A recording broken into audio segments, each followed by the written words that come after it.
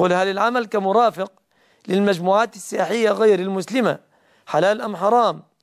إذا كنت مرافقا لهم تحملهم إلى أماكن ليس فيها محرمات فلا بأس بذلك لكن إذا كنت تحملهم إلى مراقص وإلى أماكن فيها فجور فيها خمور فأنت آثم واترك العمل. بارك الله فيك.